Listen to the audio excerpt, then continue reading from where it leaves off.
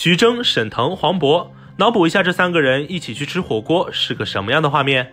最近徐峥做客某节目分享了作为喜剧演员的搞笑日常他说自己和好友沈腾黄渤一起去吃火锅都不用开口服务员看到他们就已经自动笑到模糊不愧是长在全国人民笑点上的男人啊。这群众基础杠杠的。这该死的人气啊真是妥妥的。非凡娱乐实时报道。